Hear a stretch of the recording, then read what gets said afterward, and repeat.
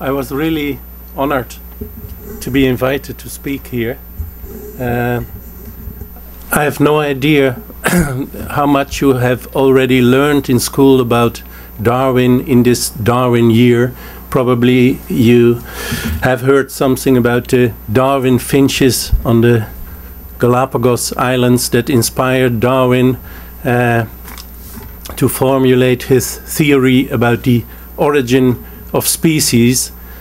And that still is what evolutionary biologists try to do. They want to understand why plants and animals look what they look like actually. Why does a bat look like a bat? Why does a zebra look like a zebra? And uh, how do new species originate? And that's why I, a long time ago, as a member of scientists from the University of Leiden, went to the East African Lake Victoria. Um,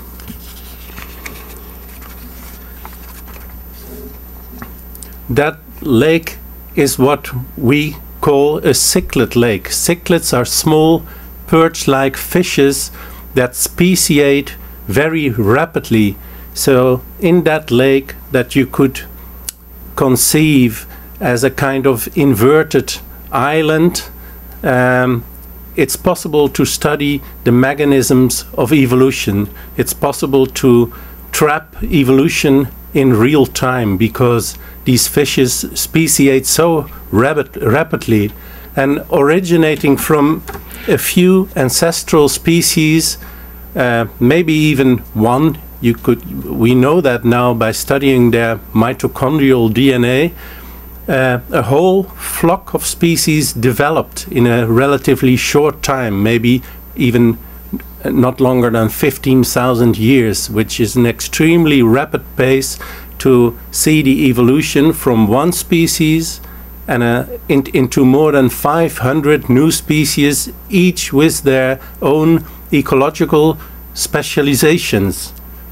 So what, what you see in that lake is that um, there were phytoplankton feeders, zooplankton feeders, prawn eaters, uh, fish eaters, but even extreme specialists like scale eaters, only uh, eating the scales of other fishes. Uh, there were cleaner fishes that um, cleaned the parasites of other fishes. And I can even mention a more bizarre um, specialist, the, the so-called pedophage. But then I have to explain you something about the advanced breeding system of these fishes. In these fishes, the females take the embryos in their mouths and they grow up there. They are so called maternal mouth breeders. And in that cichlid lake, 26 different biological species developed, uh, specialized in snout engulfing the, the snout of a female and sucking up all her embryos. So that's an extreme um, specialized ecological niche, something maybe comp comparable with somebody who invented the first uh, laundry store. Uh, they weren't there a hundred years ago, but now they are everywhere. It's a, a, a, very original way of inventing a new ecological niche.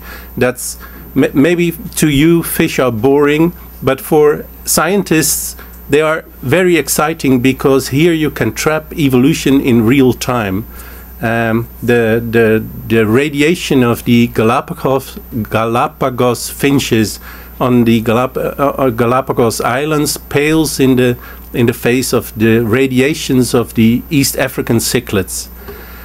But I'm a writer as well, and I want to read a short fragment from the book Darwin's Dream Pond.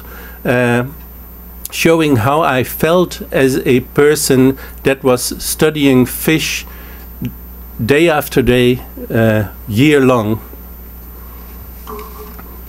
I still remember how my work with the cichlid changed my way of looking things uh, at things as I described in the book. If you work more intensively with fish than with people over a period of years, you start to see different personalities in the different species. the algae-eating philosopher, the snail-swallowing pimp, the larvae-sifting housewife. I projected human qualities onto fish, an activity considered anathema by every right-minded scientist, and in turn saw fish in humans. There was no longer any distinction between the two.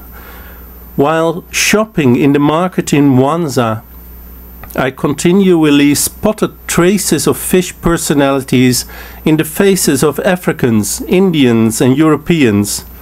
In passing, I whispered their Latin names under my breath, occasionally coming across someone without a double, one of those rare faces without an underwater counterpart. Wide mouths, protruding lower jaws, or by contrast, small, short, highly underdeveloped ones. Shrunken mouths or parrot-like beaks, lips of all sizes from tight, thin ones to thick, fleshy ones. Round, straight and receding foreheads, a glazed stare fixed in large, bulging eyes. I spent most of my time studying the characteristic shapes of the fish so that eventually, however deadening this can be for visual alertness, I couldn't stop looking comparatively. Discovering similarities between different cichlid species made me feel good. Identifying differences did the same. All that feeling good became almost too much for me. So that's a small fragment. These beautiful fish with their beautiful males, they're, they're, especially the males, are beautifully colored. Uh, however, started to disappear. The disappearance of species is the other side of the of the coin of originating species. The origin of species and the disappearance of species are two sides of the same coin, and I had never realized that.